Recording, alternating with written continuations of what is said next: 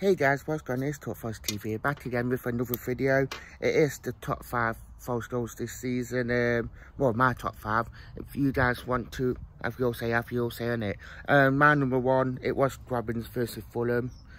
Um, cracking goal, cracking team goal. And it really well worked. So that's my number one. Number two, it is Sammy Ameobi. First goal versus Swansea.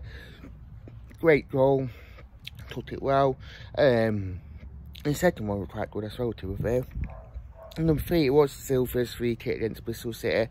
Well work, well cracking technique, well good goal. Um, I'm going to Silva for doing it. Um, number four is Lolley's um, goal against Luton.